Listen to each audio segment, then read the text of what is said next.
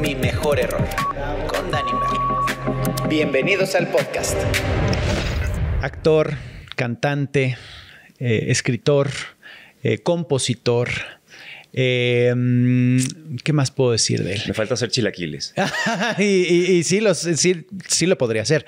Bienvenido a este podcast, Dani. Mi Mejor No, Error. Qué gusto, qué gusto estar aquí. Gracias por invitarme, olvídate. No, es, es- es una gran sorpresa porque cuando estuve haciendo, normalmente invito a alguien y, y- y hago el, el research para saber a qué me estoy enfrentando, ¿no? Porque este, este espacio es para aprender de los errores, para, para hacer una inspiración.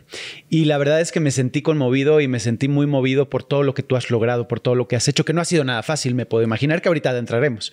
No, y ha, y ha habido un montón de errores y la vida es así, eso es lo genial, ¿no? Es horrible cuando ves a alguien público de repente y te- todo te lo vende como perfecto y tú dices, "N- no. Ah. O no, que te dicen, la autoayuda es maravillosa, el dinero no es importante, pero tienes 50 millones de dólares en... No, Exacto. millonario. Pero sí, sí, no, no es fácil, creo que la vida en general no es fácil, ¿no? Y hay lecciones que uno aprende y uno siempre puede hablar su experiencia, ¿no? Y qué lindo estar acá y sobre todo contigo, que tú tienes con, con Mercurio, has tenido una conexión hermosa con mi país, con Uf. Perú, sé que se morían por, por ustedes.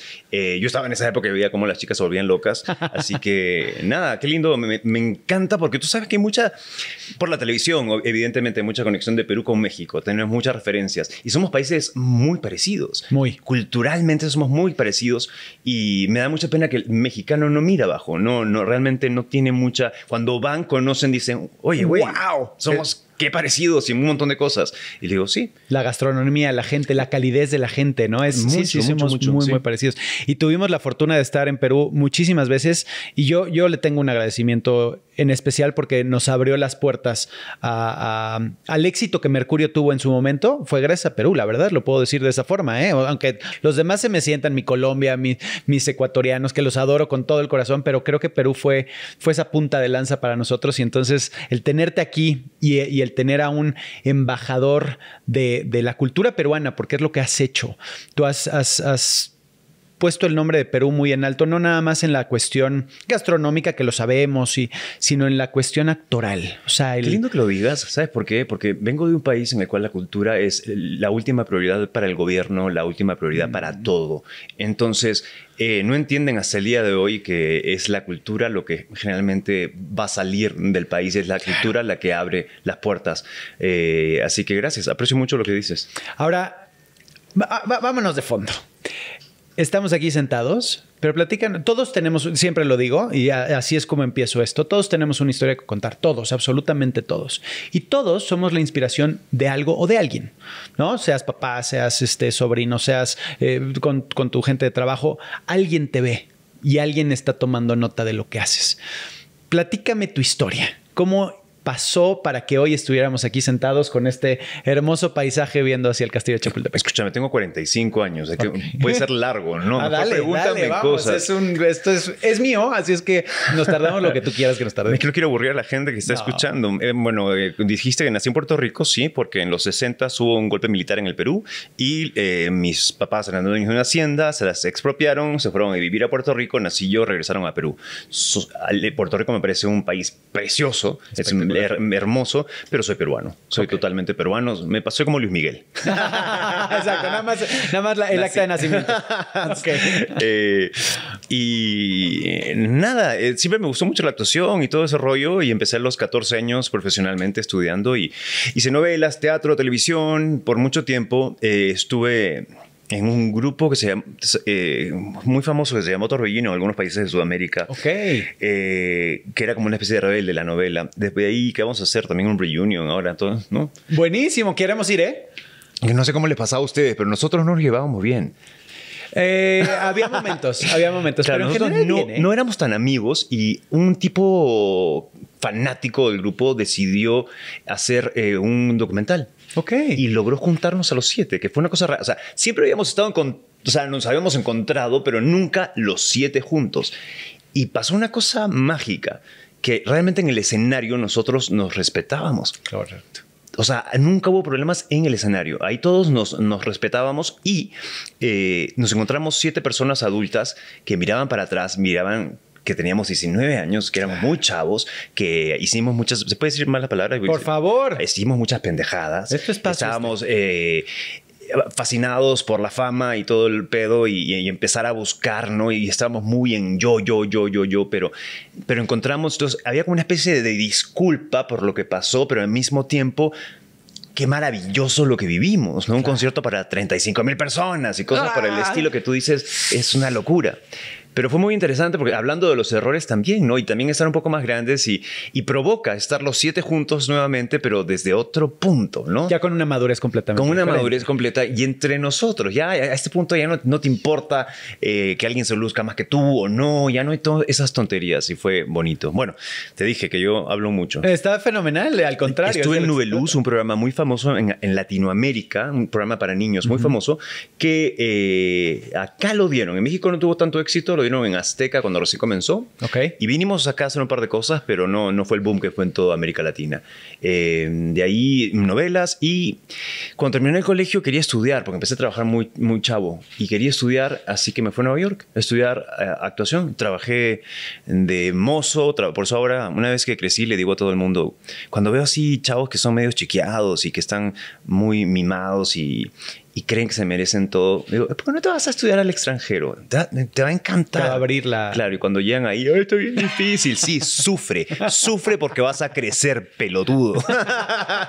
Oye, la verdad es que sí, es, es, es un proceso que necesitas de aprendizaje. A mí me pasó después del, del grupo, que salgo en el 99, obviamente después de haber vivido estos estadios espectaculares, atascados, una fama increíble, y me voy a Estados Unidos con mi mujer, que estaba recién embarazada, eh, a probar suerte. Yo, yo lo hice por huir realmente, y empiezo con una taquería móvil. wow. Eh, pero a, darle servicio a la gente de construcción, no a las taquerías móvil que ahorita ves que son súper fancy, padrísimas, no, por supuesto que no. Eran ir a las 4 de la mañana y pues hacer tacos y, y- y vendérselos a la gente y a final del día eran 7 dólares lo que ganabas. No manches, wow. Y entonces ahí me, me siento muy identificado contigo porque es atalanearle, güey. O sea, le tienes que chingar. Sí, Porque si no, no te llega. Y eso te sabe mucho mejor. no, no, no, no. Ay. Una vez me dijo alguien, pero no sé, sientes que realmente fue mu- mucho más gratificante haber, lo- haber trabajado de mozo y haber logrado las cosas. Y luego, no, yo quería vivir de la, de la herencia de mi nona, pero no alcanzó para mí, se la acabaron mis viejos. es lo que tocó, pero lo interesante es que muchas de las cosas que salieron de ahí es, aprendí que puedo sobrevi- sobrevivir en la China, ¿no? Claro. Y que estás solo, realmente en esta vida estás solo, por más que estés casado, tengas hijos, al final siempre estás solo. Y, y sí, la educación que recibí, no sé si pasa eso en México, pero en Perú pasaba que eh, tanto lo que es baile, canto, todo eso, hay gente que estudió afuera y viene a enseñar, ¿no? Exacto. Por eso yo le, tenía un- le tengo un respeto ahora cuando me dicen, ¿por qué no enseñas? Porque hay un meme maravilloso que dicen, oye, ¿cómo te va? Muy bien, he hecho una obra un año. Ah, yo también. Ah, hay que ser profesores. Exacto. Eh, porque también me tocó esos profesores que no entendí, que me hicieron daño en el sentido que en lugar de, de reforzarme, me hicieron a mí dudar sobre mí mismo. Wow. Por eso es bien importante. Yo sentía que yo no tenía talento, que yo estaba mal. Y por eso quería irme a estudiar. Me fui a Nueva York y me encontré que para todo hay una técnica, pero todo es trabajo. Todo es trabajo y eso fue lo que más aprendí en Nueva York en esa época. Y a romperte el lomo, ¿no? O sea, estudiar, trabajar. A mí me decías cuando estaba haciendo Torbellino y todo este pedo de las novelas, tienes que trabajar y estudiar al mismo tiempo. Ay, por favor, ¿no? Está fácil. A mí me van a pagar todos mis papás y de repente ya no, ya no había papás. Mi papá murió, mi mamá estaba sola, se acabó la herencia, entonces era, no, te la tienes que ver solo y no pasa nada. Claro. Y lo que es maravilloso es que cuando ves, ¿qué me pasa como te digo? Cuando veo millennials, pongo millennials porque creo que tiene la descripción exacta de, de que les han enseñado que son merecedores de todo, que no tienen paciencia, que a cualquier adversidad dicen, ah, no, no, no quiero, ah, no, mi jefe me cae mal. Mm, Eso es la vida y la perseverancia y tienes que aprender de todo eso y a manejar todo eso. Nadie te diga que seas miserable, pero hay gente que no tiene la opción. Y yo muchas veces no he tenido la opción, te debe haber pasado también a ti. O sea, 100%. yo he tenido, y de repente suena tonto, pero a veces no tienes la opción y trabajas en, en un proyecto dentro de lo tuyo en lo cual eres miserable, ¿no? O odias a alguien o alguien te odia a ti y es, es como que, uff, bastante, ¿no? ¿Qué, qué soñabas de, de niño? O sea, el ser actor, esa era tu, tu pasión, eso era lo que tú vis O sea, niño visualizabas? quería ser todo. Doctor, veterinario, cantante, actor, todo. Pero siempre, siempre creo que me, me- me- mandó mucho hacia la parte eh, artística. Siempre. Artística. Desde muy chico. Y empecé, como te digo, profesionalmente a los 14 y no venía de una familia de artistas. Muy joven. Sí, ch- chavito, ¿Y, difícil en ese momento, a los 14 años en Perú, a empezar el, el- a, abrirte puertas? El Perú, como te digo, es tan inestable, ha sido tan inestable a nivel, a nivel eh, político. La política afecta demasiado la realidad económica, por consiguiente, todo lo demás. Entonces, ¿qué pasa? En los 50, 60, Perú era uno de los primeros exportadores de novelas. O sea, por ejemplo, esa novela como Simplemente María, que en México se ha hecho 20 mil veces, la original es peruana. Ándale. Claro, así como esa un montón. Y, por ejemplo, Ricardo Blume, Sabi Kamalich, que no todo el mundo los conoce, Sí, son sí. peruanos. Claro. Y ellos los trajeron en esa época porque era el boom de las novelas peruanas, pero estoy hablando a blanco y negro. Exacto. Y ahí, ahí viene el golpe militar y todo se va a la mierda. Y de ahí de nuevo, en los noventas, eh, empieza nuevamente este boom de novelas y empiezan a construir estudios y se van a grabar a Perú muchas cosas. Pero cuando yo empecé era principios de los 90. Entonces, que creo que también lo agradezco porque no era un momento en el cual hu- hubiera muchísima chamba, sino era teatro. ¿no? Claro. Y yo comencé con el teatro y estaba feliz, obsesionado y, y- y el Perú estaba en una crisis, saliendo de una crisis espantosa porque habíamos tenido dos grupos terroristas, eh, eh, Alan García, uno de los peores presidentes de la historia del Perú, entre muchos porque tenemos varios. Eh, no es y- competencia. Sí, ¿no? Eh, entonces, sí era una situación muy difícil, pero al mismo tiempo, como pasa en las situaciones difíciles, tú te adaptas y, y crees que es la realidad. Así que eh, creo que fue mejor porque cuando he tenido que lidiar de nuevo con vacas flacas, he estado, es donde empecé. Exacto. De ahí vinieron las vacas gordas que estuvieron buenísimas y de ahí vinieron vacas flacas de nuevo. Y de ahí vinieron de nuevo las vacas bien gordas, que fue genial, y vacas flacas de nuevo. Entonces aprendes a lidiar con eso. Y eso fue bueno empezar de esa manera. Porque pasa mucho que de repente hay chicos que de repente los descubren y por su cara bonita o por alguna razón les dan una mega oportunidad y se creen que Y ya la quedan. hicieron y después no saben qué hacer, ¿no? Claro. Y desaparecen. O sea, ya a mi edad, no sé cuántos años tienes tú, pero yo tengo 45, 41. O sea, a, mi- a- a nuestra edad ya lo hemos visto. Ya hemos visto los que desaparecen, hemos visto los que se quedan, hemos visto los que, eh, las caras bonitas que decidieron estudiar y decir, no, yo voy a ser mona y tienen una carrera maravillosa, los que pensaron que con eso era suficiente y con tener tres músculos es, ya, ya era ten- tener una carrera. Eh, nada, es interesante, es interesante. Es, es- es increíble porque eh, para ser actor, y esto no, no lo sé, o sea, sí hice castings y todo eso, pero necesitas tener un- una, una piel muy, muy, muy dura. Necesitas eh, enfrentarte al rechazo constantemente. constantemente y esa es una de las cosas que me enseñaron en Nueva York, en la escuela. Lo primero que hacen es prepararte para el, para el rechazo. Y es interesante porque se acostumbra. y como... Ya cuando te dicen sí, Cuando es- te dicen ¿sí, ¿en sí, serio? ¿Ah? No, yo esperaba el no. y me pasa, pasa mucho. Pasa mucho de proyectos que de repente jamás imaginaste que iban a pasar o que me ha pasado. Proyectos que he dicho, ahí no voy a estar nunca. Y de repente terminas en el proyecto y tú dices, ¿qué pedo? Sí, como, Eh, la, la pero- vida conspira para ponerte en el, momen- en el, en Claro. el lugar específico. ¿no? O sea, sí, ahora hago las audiciones y me ol- literalmente me olvido. Me preguntas, ¿para qué audicionaste? Te digo, no tengo la menor idea, ya no sé. Ya lo pasé y si algo sale de ahí, genial. Pero sí, tienes que estar preparado para... Llévame a ese momento cuando haces las audiciones para esta gran oportunidad que es estar en Nueva York. Eh, la primera, porque sé que estuviste en Chicago, pero antes estuviste en, también en Nueva York, en otra... Las dos veces que estuve en Broadway fue en Chicago. Las dos. Ah, las dos en Ambas fueron en Chicago. ¿Cómo es ese proceso de... de- Uf. de- pero, pero sobre todo por la cuestión emocional. La, la, ¿Qué decía tu cabeza? ¿Qué, ¿Cómo te preparabas? ¿Qué... No me lo permití, no me permití eh, ilusionarme porque no, no entendía qué estaba pasando. Soy súper sincero. Ok. O sea, a mí me lo dicen y me dicen, quieren verte en Broadway. Y yo, en, en Perú decimos, me están hueveando. ¿Qué dicen acá? Me están tomando el pelo. Sí, sí, sí, me están Pero tomando el pelo. me- no, pero hay me, una están, palabra- viendo- me están- me están- me están viendo la cara. me estoy viendo la cara, dije, o sea, eso pasa a Bianca Marroquín. Yo a Bianca la había visto en Los Ángeles haciendo Chicago y esto pasa a Elena Roger, que es una argentina que hizo eh, Evita. O sea, son historias que yo había escuchado, que habían pasado cuatro veces en Latinoamérica o cinco máximo. Yo decía, eso jamás me va a pasar a mí. Y de repente me dicen esto, entonces fue todo un proceso de incredu- incre- incredu- Incredibilidad. incredibilidad, eh, en el cual no me permitía creerme porque no entendía bien qué estaba pasando. Fui a Nueva York, estuve con ellos, recién me enteré que era para Billy Flynn cuando entré a la oficina porque dije, debe ser ensamble, ¿no? Porque ¿por qué me llamarían a mí? No entendía.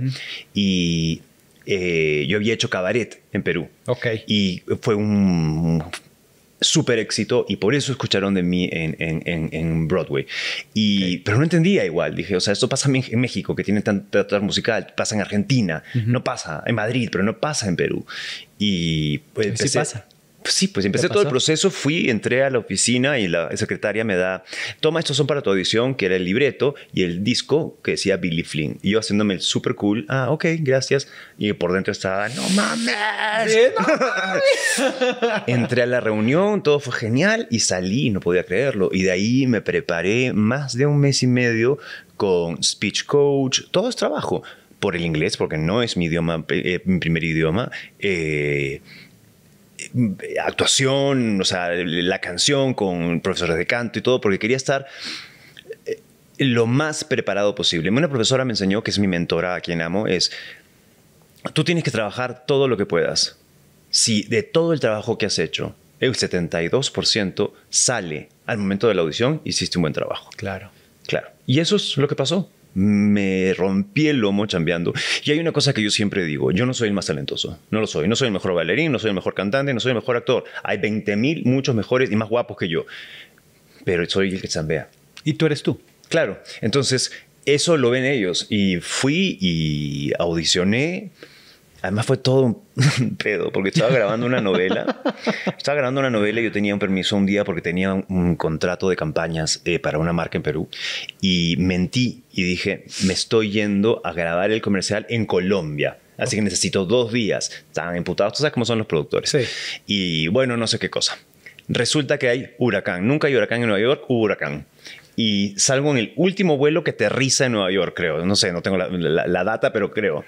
Y llego, y llego a Nueva York y me dicen, se cancela la audición. No. Madre, no puedo ser. Y no hay aviones, no puedo regresar a Perú, porque está cerrada la ciudad. Claro. Viene el huracán, no pasa nada en Manhattan, y al día siguiente me dicen, va la audición. Entonces, perfecto, la audición fue la hago, fue un rato larguísimo con gente increíble, y, pero con una, tu mesa así, como la ves en las películas, el mismo pedo, que no te dicen nada hasta que te vas, Ah, y ahí te llaman, eh, me dijeron que sí. Y Ahí mismo te dice. el mismo día, no, después mandaron el mail diciendo Wow. que sí, que coordináramos las cosas, que no podía decir nada hasta diciembre. Y, y bueno, de ahí no pude regresar y en Perú decimos me putearon. La, la, la- la productora me reputió por el teléfono porque no llegué a la grabación. Pero bueno, me salió un papel en Broadway, así que estaba Ah, bastante contento. Pero lo que, a lo que regreso es, no me permitía creer eh, lo que estaba pasando, porque para mí era un sueño y no podía entenderlo. Entonces nos dijeron no digan la noticia hasta diciembre y en Perú la productora, la productora con la que trabajo dijo terminas Broadway y te vienes a hacerla aquí. De todas maneras, me hizo empalmar. Entonces hicimos, hizo una rueda de prensa en diciembre cuando nos dieron permiso y salió una, o sea, Perú fue como una gran, gran, gran noticia, Claro. ¿verdad? Y, pero yo estaba aterrado a que salga todo esto y que de repente Broadway llamen y digan, oye, nos equivocamos. Agarramos otro, otro archivo, ¿no eras tú? Aterrado. Y finalmente Broadway saca la noticia. Pero ¿por qué dudabas de ti? no lo sé, no lo sé, no, no, no me lo podía creer. No me lo podía creer hasta... Creo que cuando ya llegué a Nueva York y empecé a ensayar, también estaba esperando en un momento me digan, oye, no, no, no, no das la talla. Y es más, me pasó con la directora musical, con Leslie, que en un momento me dijo, you sound terrific, que significa suenas increíble. Exacto. Y yo volteé y le dije, no me digas que I sound terrific porque sé que no tengo el nivel. Y ella simplemente volteó muy calmada y me dijo, honey, you wouldn't be here. Que es, amorcito, Exacto, no, no estarías, estarías acá. aquí. Se paró y se fue. Eh, Exacto. Yo creo que los latinoamericanos tendemos a, a también a tirarnos para abajo. abajo, sí. ¿verdad? A echarnos para abajo. Es que tenemos esa, y lo hablábamos hace ratito, tenemos el, el- el mal del cangrejo. Y no solamente eso, también hay una cosa que nos han mal enseñado, que es la humildad. Si tú revisas la humildad, si eres católico, no, revisas a lo que dijo Jesús en algún momento, a quien tú quieras, no tiene que ser Jesús. La humildad no significa darte no darte crédito a Darte ti mismo. abajo, claro no. Exacto. La humildad no significa... Reconocer. Claro. Tenemos una humildad eh, mal, mal enseñada, ¿no? Sí. Que si me siento bien conmigo mismo, estás mal, es pecado, tienes que sentirte pésimo. Y lo tenemos súper arraigado en los países católicos, ¿no? Sí, la, la realidad es que sí. Y es algo, es una programación. Totalmente. Es algo que, que tenemos que cambiar, que tenemos que trabajar constantemente. Y de la única forma que lo puedes hacer, siento yo, es creyéndotela. Oye, ¿soy bueno dibujando? Sí, sí, soy bueno. ¿Por qué está mal el decir, sí, soy un buen actor? ¿Hay mejores? Sí. ¿Hay peores? También. Pero a mi nivel, soy muy bueno. Y ese es mi talento. Y eso es lo que yo doy al mundo. Y por eso te contratan. Dime exactamente qué sentiste en el momento en el que abriste el email y te dicen, you're in. Ay, me encantaría contarte una novela maravillosa, pero en serio, no me permití creérmelo. No me permití Bueno, invéntatela. Ay, sí. O sea, no podía creerlo, pero creo que lloré un poquito, se me salieron las lágrimas, pero la gente alrededor mío estaba más emocionada que yo. Es más, yo no le dije a nadie. ok. O sea, me- yo me guardé el secreto y la productora de mi productora era eh, Denise Divos y Carlos Arana. Y Carlos y yo nos quedamos totalmente callados. Denise le contó a toda su familia.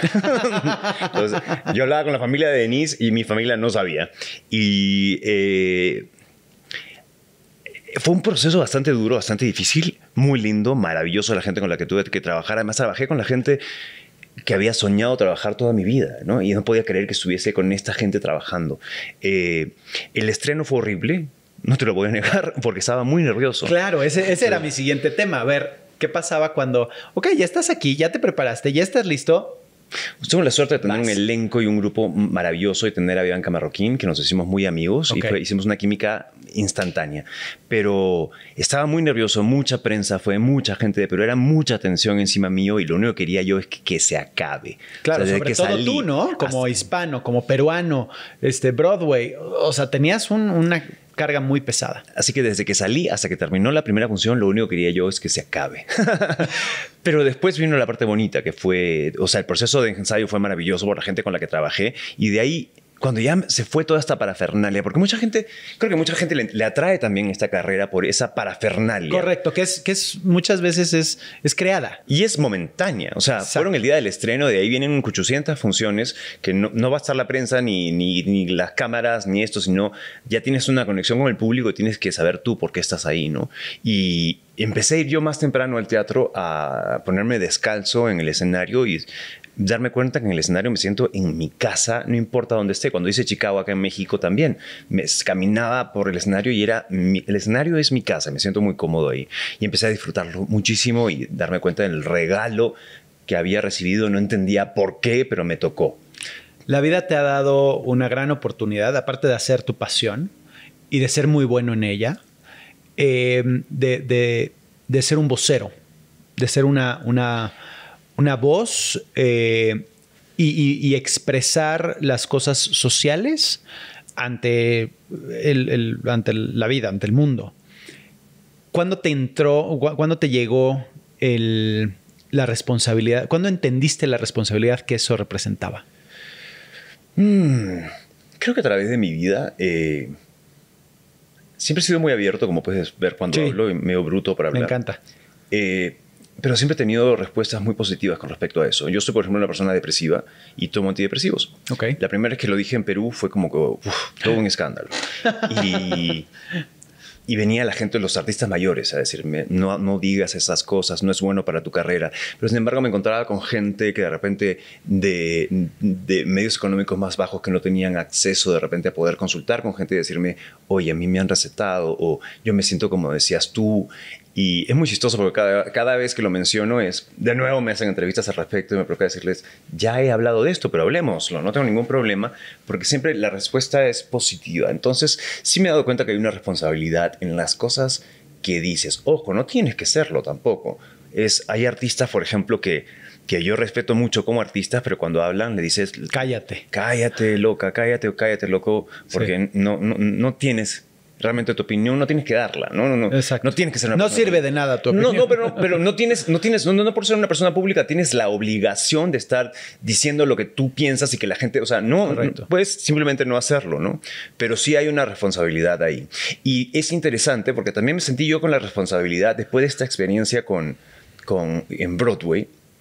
hay una cosa específica. No sé si tú, no he leído tu libro, pero me imagino que, que hablas de eso también, que es sobre darte con lo que decía, el crédito a ti mismo, pero estamos buscando siempre que, el crédito nos lo den, ¿no? Claro. Y me pasaba toda mi vida y había gente por la cual yo quería que me den, que me, que me validen, ¿no? Exacto. Eh, y no me daban la validación que yo quería y estaba muy frustrado, ¿no? Con eso, me, me, me fastidiaba, no me sentía lo suficientemente bueno.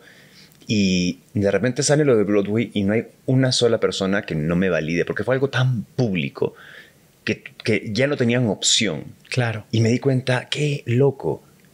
Ahora ya no me interesa tu validación, no la necesito. Tengo mi grupo de personas, obviamente, que cuales respeto y voy a respetar siempre su opinión y que no siempre me dan la razón. Ese grupo, que es tu grupo de contención, llámese familia, amigos eh, y compañeros de trabajo, en los cuales tú confías, tú eliges, eh, son tu grupo de contención y son los que también te van a decir, oye, la estás cagando aquí, o sea, bájale, ¿no? Correcto. Pero me di cuenta que esta gente nunca me iba a dar, ¿cómo se llama?, su, su, su validación. Entonces, para mí era importante... Porque son un espejo. También. Porque ellos no se validan. Entonces, al tirarte a ti, ellos se sienten mejor. Claro. Entonces, es, es una... Es, es, un tema psicológico, es, es, muy profundo porque no aceptar el, el, el, éxito de los demás es porque tú careces. Qué fuerte. Esa, sí, pero es triste. Y, y vivimos triste. en una sociedad. Es súper triste porque, aparte. No de todo el mundo, por supuesto, y, y hay gente espectacular. ¿no? Sí, claro. Pero, pero sí, en general es. Pero es, es, es muy triste porque sobre todo cuando te dejas, a, a mí me, eso me afectó por mucho tiempo, ¿no? Y no vas a satisfacer a todo el mundo, jamás, no todo el mundo te va a dar su validación. Y yo tuve esta experiencia que se vieron más o menos obligados a darme la validación porque no podían salir públicamente si le preguntaban a decirle, ay, no, me parece pésimo, no, no podían. Claro. Entonces sentía yo la obligación de decir que les valga madres la validación, rodece de gente que ustedes sepan que, que les pueden dar eh, eh, un buen feedback en cosas así que los contengan, pero no vas a conseguir, conseguir la validación. Y es una opinión. De un montón de gente. Y claro, no te dejes afectar por eso. Tú sigue trabajando y valídate tú. ¿no? Claro. Eso es una de las obligaciones que sentí porque dije, llegar a Broadway me pasó a mí. Claro. No creo que le vaya a pasar a mucha gente en Perú, ojalá les pase a más gente, pero no, no es una cosa tan común. Acá en México le pasó solamente a Bianca o Exacto. no sé quién más, pero eh, no pasa tan seguido. Entonces, yo te puedo decir, sí, fue lo máximo lo que me pasó, pero no necesitas llegar a Broadway para que te validen. Definitivamente. Ya date crédito por las cosas que haces y disfrútalas, porque si no, no vas a disfrutar realmente camino, porque yo no, hubo gran parte de mi carrera que yo no disfruté el camino, porque estaba pensando en lo que quería en lugar de disfrutar las cosas maravillosas que me estaban pasando. Sí, sí, en lo que decían los demás, ¿no? El, el, el ser suficiente para los demás. Uta, y aparte Qué difícil. Es una cosa maravillosa, creo que viene con la edad. Cuando te das cuenta que esta gente también que habla mucho, no pasaron 20 años, tú dices, ¿dónde están? Siguen exactamente. ¿Qué hicieron? O desaparecieron, o siguen hablando, o, o, no hicieron ni la mitad de las cosas que dijeron que iban a hacer. Y antes yo me intimidaba mucho y ahora simplemente dijo que hablen. Sí, que hablen sí. y no me importa, ¿no? ¿Qué? Pero igual es muy fácil recaer. A mí me encantan los libros de autoayuda y todo este rollo porque siento, a ver, y dime tú, a ver, defiéndete.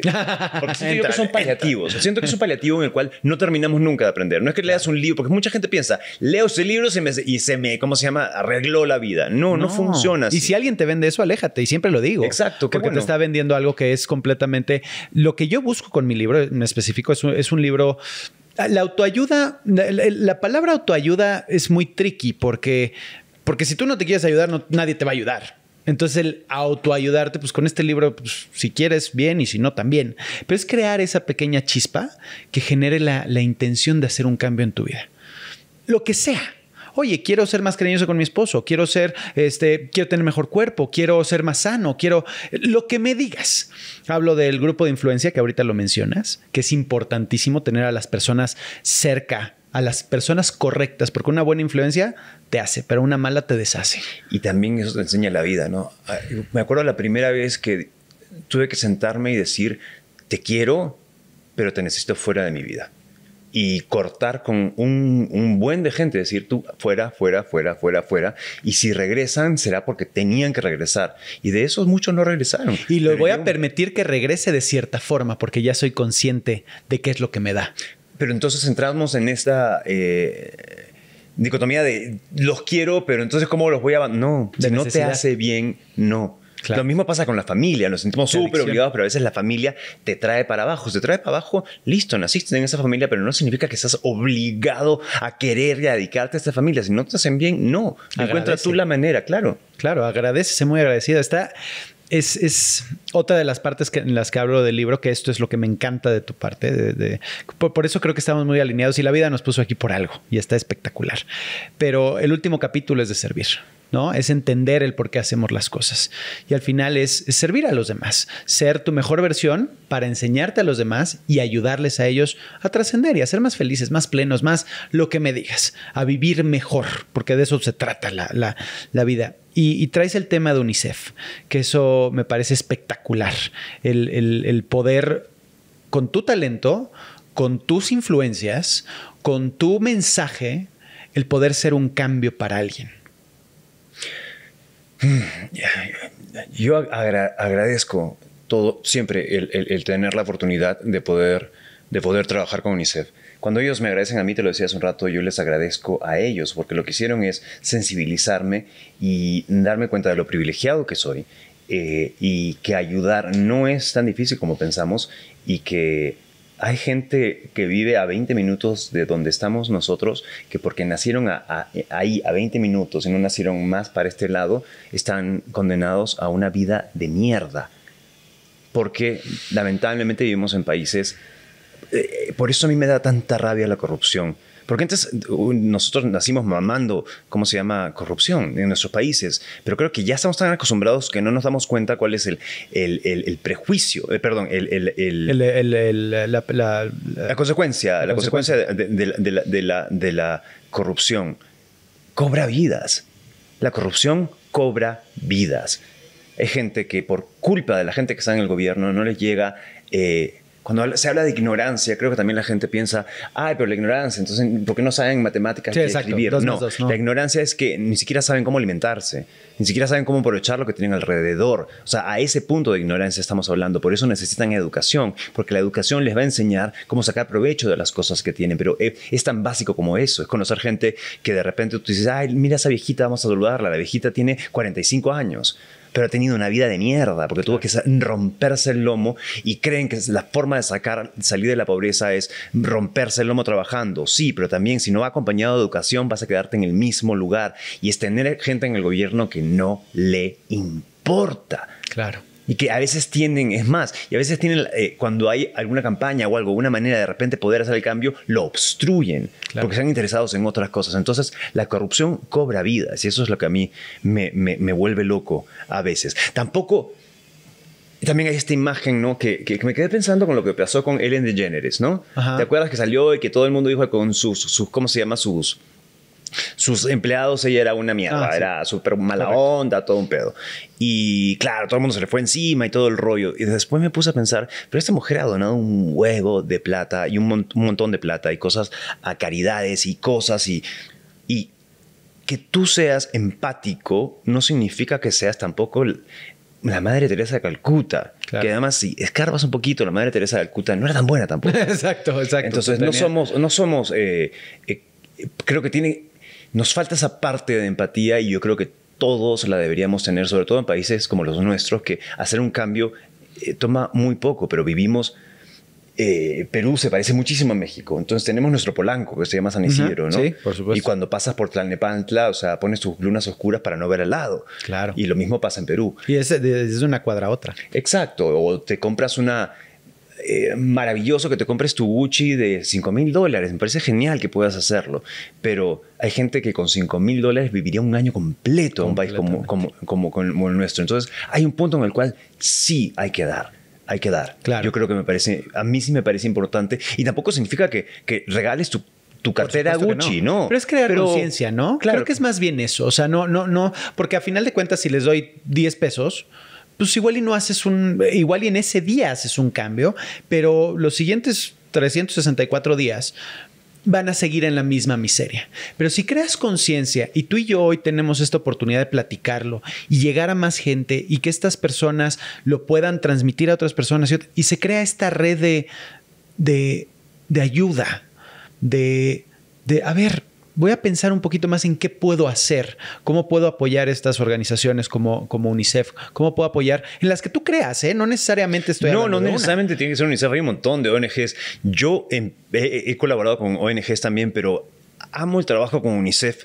Yo no sé cómo funciona el de México, pero el de Perú, eh, UNICEF con la plata que recibe empieza a hacer cosas. Por ejemplo, en una, época fue la educación bilingüe, ¿no? El idioma, eh, uno, los dos idiomas oficiales en el Perú son el quechua, bueno, hay más, pero los principales el quechua, que viene de los incas, y el, el, castellano.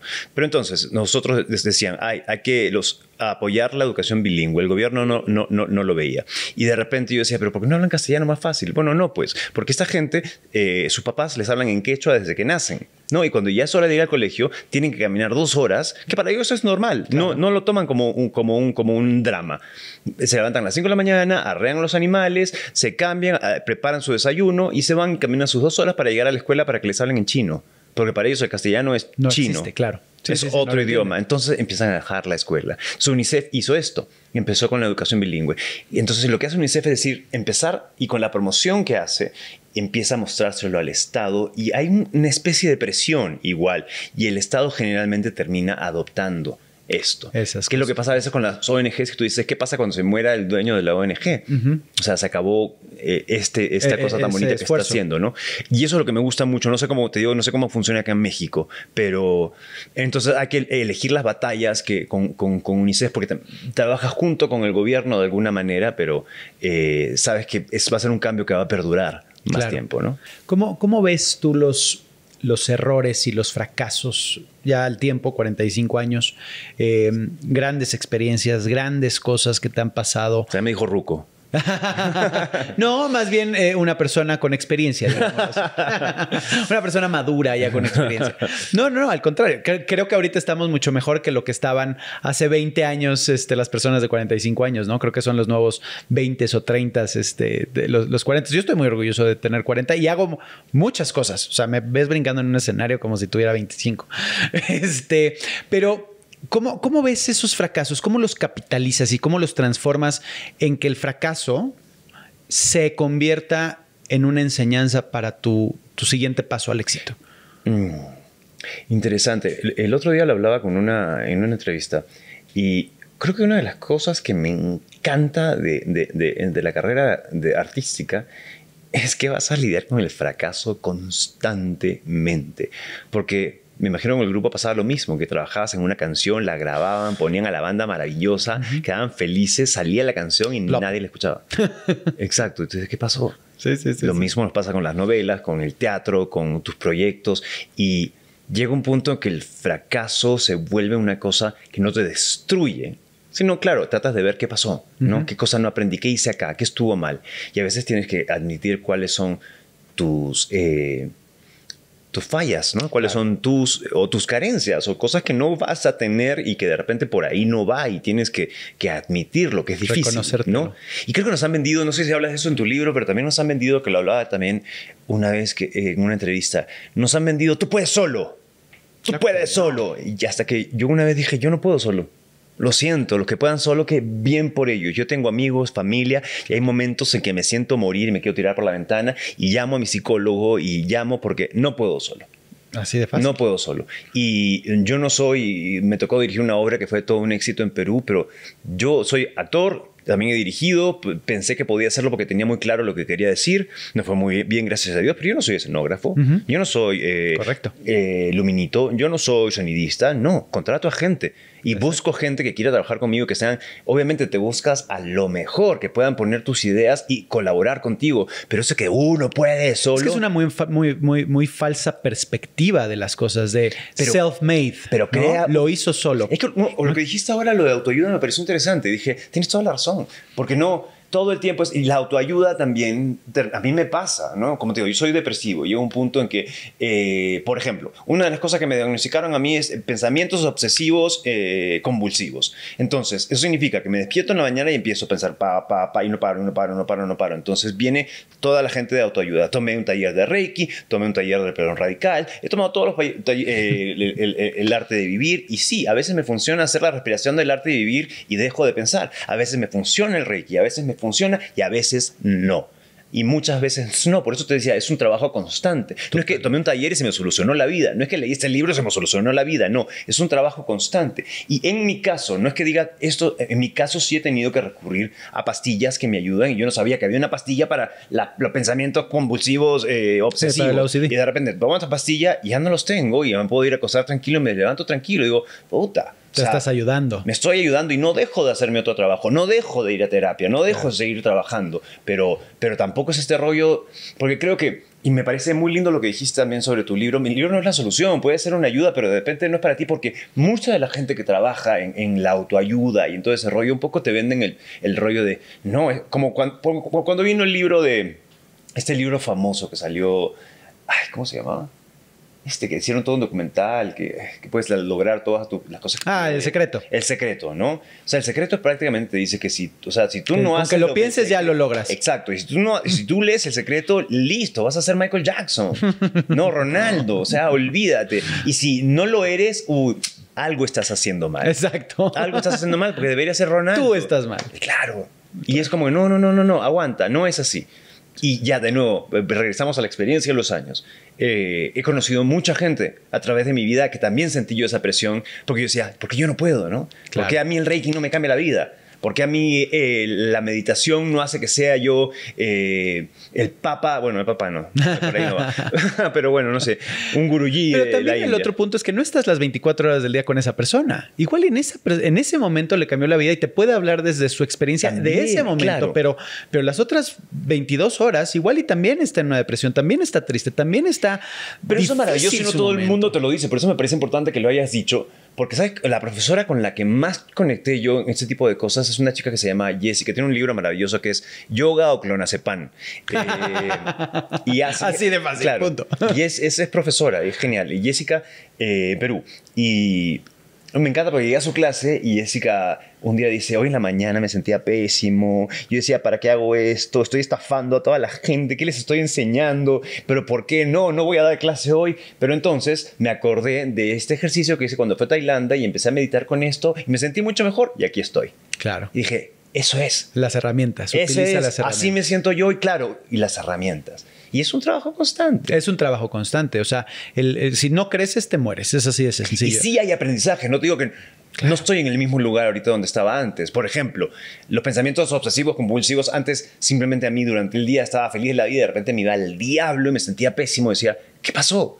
Y no los reconocía. Y poco a poco, a través del trabajo, también dije, ah, mira, así estoy pensando cojudeces todo el día. y lo saludas. Claro. Y lo reconoces, porque ese es el primer problema, no reconocer las cosas.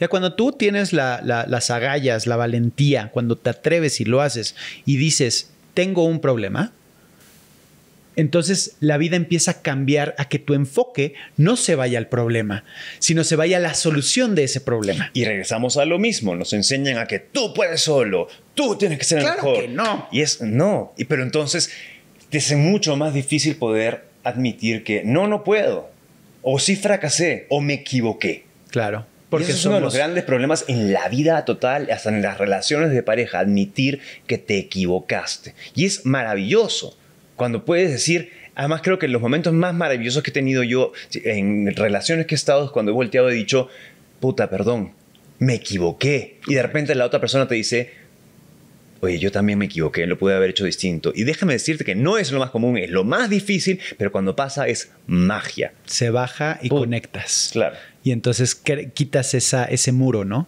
Y, es, espectacular el, el poderte conocer a ti mismo a través de los ojos de los demás.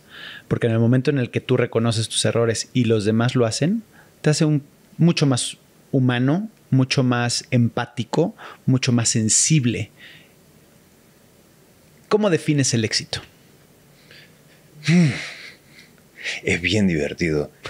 es que esta carrera es maravillosa en muchos sentidos, porque me acuerdo que en Perú me pasó una cosa muy, muy, muy chistosa. Había, no sé, no sé cómo es la prensa aquí, pero en Perú pasaba que cada vez que tenías una alfombra roja o algo te decían, ¿en qué estás haciendo? Ay, nada, acabo de terminar la obra de teatro. Ah, ¿y qué más? Bueno, ahorita, eh, me han llamado para un casting y no sabías qué decir, ¿no? Y te sentías que no tengo que decir más, tengo que decir más cosas. Claro. Y me acuerdo un día tuve una entrevista y salí y dije, ¿en qué estás? Bueno, estoy en esta novela, estoy grabando todo el día y de ahí estoy ensayando mis musicales. Para, estoy haciendo un musical y estoy ensayando otra obra. Ah, ¿y qué más? bueno, estoy haciendo los comerciales de esta tienda y los comerciales de esta, de esta, de esta marca de café. Y, ah, ¿y qué más? ¿Y qué más quieres que haga? Le dije. ¿Qué más quieres que haga? ¿En qué tiempo? O sea, nada es suficiente para ti. Y me miró con cara de culo y se volteó. y dije, listo. ¿Y qué puso de nota? Nada, no le importa, no les interesa. No es que no eres tan importante. Esa es otra. No eres tan importante. ¿Cómo crees que eres? no eres tan importante. Entonces también uno se cree importantísimo por momentos. Y ahora, cuando me preguntan en qué andas en nada, no, no tienes proyecto, no, ahorita no, no tengo nada. ah, bueno, pero sí, no, Nada, y no tengo ningún problema con respecto a eso. Y pues me fui, me fui, me fui. Quería decirte que me... el éxito. El éxito. Entonces... Eh, defines el éxito? Pero es parte de eso, ¿no? Es, claro. es el, el, no hacer nada puede ser muy exitoso también. También. Es decir, estoy bien. Loco, poder estar, hacer nada y estar bien para mí es imposible. o sea, si logro hacerlo, es, sería... Si tú me dices en este momento, ¿cuál sería tu felicidad? Ha habido momentos en que yo tenía la plata para largarme a la China y quedarme ahí y no hacer nada, rascarme las bolas todo el día y no podía no podía hacerlo, hubiera sido sumamente feliz y envidio a la gente que puede hacerlo. Pero regresemos al éxito. En esta carrera, el éxito eh, y, la, y, la, y la, o sea, que te reconozcan tu trabajo está como que muy, muy, muy presente, ¿no? Y te, hace, y te preguntas muchas veces lo que buscas. Me han pasado cosas específicas en mi vida. Una fue, eh, yo estaba trabajando mucho y vivía ya, y eso es lo que me aprendí en Nueva York también, ¿no? A vivir de lo que tú amas. Y de repente me di cuenta que yo estaba viviendo de lo que amaba. No, estaba, no era el momento que estaba ganando un montón de plata, era el momento en el que estaba ganando lo justo para vivir y para ahorrar un poco para viajar y todo. Y yo dije, y hacía obras que le iban bien, me estaban reconociendo más a nivel eh, como actor. Y yo decía, estoy, estoy, ¿cómo se llama? Estoy, estoy bien. Pero al año siguiente no tenía tanto trabajo, pero ¿qué pasa? Que me entrevistan dos personas muy importantes en el Perú, que es Magali, que es una especie de Pati Chapoy, ¿no? Y eh, Jaime Bailey, que es un entrevistador muy audaz. Eh, y Jaime me entrevistó. Entonces, eso en Perú todo el mundo lo veía. Y la gente en la calle me decía, eh, este es tu año, no, es un hino, este es tu año. Y decía, pero no tengo chamba. no este, tengo chamba. Algo saben ustedes que yo no. es interesante. Y también me pasó que hay una revista muy importante en Perú que se llama Cosas, que es como decir cara sacado más importante, que no le daban la portada a nadie en esa época. Ahora, ahora es más fácil, pero que te dieran la portada era como que, wow, finalmente me dan la portada. Después de años que me han entrevistado adentro, por fin me hacen caso y me dan la portada sesión de fotos de cinco horas con catering y toda la parafernalia y toda la, ¿no? Eh, eh, entrevista con café, todo un rollo. Sale la bendita portada y cuando este, voy al supermercado, estaba mi, mi, cara por todas partes y agarro la revista y digo, ¿a quién se le enseño? Porque mis papás ya habían muerto, los dos. Mm. Entonces dije, pero no, no, en el, no en el plano dramático, ¿eh? dije, ¿para quién hago esto? Hago esto para mí. Entonces lo que yo tengo que ahora descubrir es por qué hago yo esto. Entonces el éxito para mí es lo que tú consideras éxito, lo que a ti te hace feliz. Yo cuando estaba haciendo mis obras, antes de que me entrevistaran o que mi cara estuviera en todo el supermercado, era poder vivir de lo que yo hacía y ser totalmente feliz con eso y poder permitirme disfrutar con mi familia. Me di cuenta que para mí la familia y los amigos son sumamente importantes porque son parte y no los abandono, porque en un momento sí que por tanto trabajo no lo puedes hacer, pero ahora me dices, oye, ¿puedes grabar esta cosa, no sé qué cosa? Y te digo no, y realmente te digo un no rotundo porque ese día tengo lunch, en Perú decimos la hora del té, lunch le decimos, eh, con mis tías y mis primos. Y, ni siquiera lo pienso, para mí es igual de importante. Y no, no, entonces, el éxito es lo que tú consideras éxito para ti para mí el éxito es poder hacer lo que amo y vivir de esto, ¿no? Sí, el reconocimiento está lindo, las portadas están geniales, pero sí, sales en una portada y te cuento una cosa, en 15 días sale o una semana sale una nueva revista en la cual tú no sales en la portada y ni sales adentro, ni te mencionan. y se acabó. Así, Eso, eso es lo que dura. ¿A qué le tienes miedo? Puta. Porque viene muy de la mano del éxito, ¿no? Lo que pasa es que eh, es, la, respuesta es la respuesta cliché, ¿no? O sea... No lo sé que la gente que ama sufra, ¿no? Que la gente que tú amas sufra. Eh, ¿A qué le tengo miedo? Creo que hay muchas más cosas, pero creo que lo principal, si resumimos en algo, es que la gente que tú quieres sufra, ¿no? No quisiera que toda la gente que tú quieres le vaya bien, que sean exitosos, pero también tienes que entender que ellos tienen su jornada y que no, hay cosas que no puedes hacer al respecto, ¿no? Correcto. Que tienes que dejarlos. Si hoy tuvieras la oportunidad de regresar el tiempo, ya con toda tu experiencia, y tener a Marquito aquí al lado, de 6, 7 años, y le tuvieras que decir un consejo o le tuvieras que decir algo, ¿qué sería? No estamos en terapia, ¿eh? Pero... Me sentí, me sentí.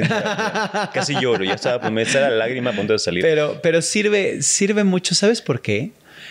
Porque para la gente que nos escucha y que nos ve, el, el, el ponerlo enfrente, esa oportunidad de poner al niño interior o al, niño de, con las inseguridades, con los miedos, con, con los fracasos, con, con, con la idea de es completamente diferente ya que pasa tu vida. Claro, no sé si el niño, pero yo creo que al que está entrando en la adolescencia, eh, y ahora vamos, quiero conversarte algo sobre la adolescencia que aprendí gracias a UNICEF, eh, le diría, aprende a conocerte y a quererte. Yo creo que es la clave, porque eso es con lo que estoy yo eh, lidiando y he lidiado por, con eso mucha, gran parte de mi vida, no conocerme, por consiguiente, no ver las cosas a veces malas, pero tampoco ver las buenas. Claro. Y, y, no permitirme quererme, porque a veces tienes una imagen de ti mismo que eres demasiado duro con tu, contigo mismo en lugar uh -huh. de, de, de, quererte y abrazarte y, y, decirte, oye, no, estás bien. Sí, no tranquilo. ¿no? Que es lo que al final están buscando de tus papás, ¿no? En un momento te digan, oye, no, estás bien. Uh -huh. Sí, la has cagado de repente en algunas cosas, pero has hecho cosas de la puta madre. Y eso, el otro día me lo dijo, mira qué lindo. Mi mamá murió, pero estaban mis tías y, y me gusta sacarlas porque como mi conexión con mi mamá. Entonces me las llevé a almorzar y en un momento estábamos hablando de esas cosas y mi tía me dijo, hijito, tú deberías sentirte orgulloso por todas las cosas que has logrado. Y a veces tú no te das ese, ese, ese, esa oportunidad. Y cuando no están papás, a veces que son buenos, bueno, todos los papás son geniales, eh, creo que no, no, no, a veces te olvidas de dártelo. Yo creo que eso es una de mis luchas más grandes. Y la adolescencia me parece clave, porque yo vengo de la generación de que en Perú dicen eh, la, la, la, la edad del pedo. Ok. Que porque, ah, los adolescentes jodes. Cállate, los adultos son, no hables. Y, el adolescente, puta, insoportables son los adolescentes. Y de repente con UNICEF eh, hay toda una campaña para apoyar a los, a los, adolescentes a que tengan una voz, ¿va? Y no, me, he viajado muchas veces al, al Amazonas, en Perú, eh, a Iquitos, una ciudad eh, con muchas necesidades, y los adolescentes son maravillosos te sientas a conversar con ellos y puedes tener conversaciones como la que estamos teniendo porque tienen muchas ganas de vivir y si les das las herramientas son mucho más adultos en lo que, en lo que quieren y empiezan a cuestionarse y es el momento creo que para enseñarles empatía, es el momento en que entiendan qué les va a mejorar la vida y se mueven porque aparte tienen la energía para hacerlo, ¿no? Correcto. Y en Iquitos, por ejemplo, en esta ciudad, cuando hubo, ha habido problemas como hay un mosquito que se llama el Zika, que, que, que uh -huh. transmite una enfermedad que es fatal, fueron los adolescentes los que movieron eh, todo el tema de vacunación y a ir a las casas a informar. Son los tienen un programa de radio maravilloso y sí, tienen de niño, como todos tenemos de niño, por pero es un, yo creo que la adolescencia es una edad en la cual, de la cual no se habla y no se está, siempre son los niños o los adultos, pero la adolescencia me parece es un momento clave de la vida. A ver, yo tengo cuatro hijos. ¿Y qué edad tiene? Tengo uno de 20. ¡Wow! Uno de 17 y unas cuatitas de 12 años. Coño, empezaste chiquito. Empecé muy chavo, a los 21 años. Entonces, para mí, el, la, la, paternidad y, y, la responsabilidad de, de, de, de educar a un ser humano, pues imagínate, me agarró muy chavo. Entonces, para mí todo era en chinga, ¿no? Claro. Ya, niño, ya está, está gateando, pues ya que corra, ya, ya está caminando, que corra. Que, y, y, y, y, me perdí mucho esa, esa parte. Y sí, me pasó muchísimo de, tú no sabes, yo sí sé. Pero nos enseñaron eso. Claro. Cállate. Con los adultos hablan cállate. Sí, sí, sí. O sea, sal. Los adultos están hablando. Sí. A veces provoca decirle eso a los niños. y de vez en cuando no está mal, pero también, digamos, 80 y 20. Pero creo que se tiene que respetar mucho el, el ser, ¿no? Seas niño, seas eh, adolescente o seas adulto, eres y se te tiene que respetar como tal. Posiblemente habrá ciertas cosas que no tengas la capacidad o no tengas la madurez para, para platicarlas o enfrentarlas, pero también puede ser muy divertido, ¿no? Claro, por supuesto que sí. Tú sabes que hablaba con mi, con mi terapeuta, me decía que hay tres, no me acuerdo cuáles eran, pero una era eh, eh, aprender a defenderse, cosas que le tienes que enseñar a los niños. Aprender a defenderse, una que tenía que ver con amor, obviamente, y la otra era... Aprenderse a quererse a sí mismo. Sí, y creo. aprender a disfrutar. Y tú sabes que esa es otra de las cosas que yo no sé. Lo que te decía hace un rato. No sé disfrutar. Wow. Y es una cosa muy loca porque no te, no, te lo, no te lo preguntas. Y de repente tengo 45 años, he tenido momentos en que he tenido mil formas de poder disfrutar y no lo hago. Y tampoco puedo disfrutar, me cuesta disfrutar de las cosas simples. Entonces, son cosas que tomar en consideración porque yo no sé disfrutar y ahora es un problema para mí. Entonces te vas a llevar de tarea de este, de este episodio, de, este, de esta charla tan deliciosa que, que acabamos de tener. Disfrutar. Sí. Te vas a ir. Hoy es, hoy es sábado. Este, y vas a tener que salir y disfrutar algo. Por lo menos una caminata ahí que está espectacular, el bosque de Chapultepec. Hermoso, unos taquitos. exacto. No, y, y estar. Porque eso es lo que te hace disfrutar. ¿No? El, apaciguar la cabeza, el decir, a ver, deja, ardilla, bájale dos rayitas, deja de dar vueltas, deja de darlas. en el pasado y en el, y en el futuro, constantemente. Y cuando logras realmente... Eh, tú sabes que a mí me tomó mucho tiempo darme cuenta que la respiración es maravillosa. Que algo tan simple como la respiración es algo que te puede calmar por completo en un día cuando estás volviéndote loco. Pero hay una especie de, no querer creerlo, pero cuando finalmente lo haces, es maravilloso porque te hace estar en el momento. Y a veces estar en el momento es simplemente darte cuenta que las cosas no están tan mal. Oye, no está tan mal, ¿no? Mira la vista que tengo ahorita, estoy increíble, la vista de Chapultepec, hablando con Dani, que la verdad que no tenía la menor idea que por dónde iba a ir la entrevista, ha sido muy bacán la conversación y y ahora me voy a comer en un restaurante de comida mexicana en un rato. Está todo bien. Te, te agradezco infinitamente. Ha sido una plática que me ha alimentado muchísimo. No, viceversa. Que me ha nutrido, que, que, que, me ha expandido mi... Tengo dentro del libro, viene la, la, Yo tengo un concepto que no es sal de tu zona de confort, sino expande tu zona de confort. Y es porque a final de cuentas no dejas de ser quien eres cuando tratas cosas nuevas. Sigue siendo la misma esencia, nada más que con nuevas experiencias. Interesante. Entonces, por eso a mí me gusta decir expande tu zona de confort más que, que salte de tu zona de confort. Digo, es, es, algo que he hecho ahí a la, gente siempre, pero de verdad eh, no sabía que esperar de ti. No sabía obviamente sabía la reseña y, todo lo o sea, soy un mamón, pero estoy dando mi buena cara. Oiga. Exacto. Oye, lo has hecho muy bien, ¿eh? o sea, me viste la cara. No, y, de verdad ha sido una gozadera completita. Tienes un amigo, lo que necesites, este es tu espacio, por favor. Muchas gracias. Por y, y, ojalá y tengamos la oportunidad de irnos a comer con, con, que conozcas a mi esposa, la familia, este, y disfrutar y estar. Exacto. Qué bueno. Bienvenido. Se dará. Muchísimas gracias, Dani. Al contrario, muchísimas gracias a todos ustedes. Suscríbanse, denle la campanita, pongan sus comentarios y compartan, por favor. Besos y bye. No te pierdas el siguiente podcast. Esto se acabó.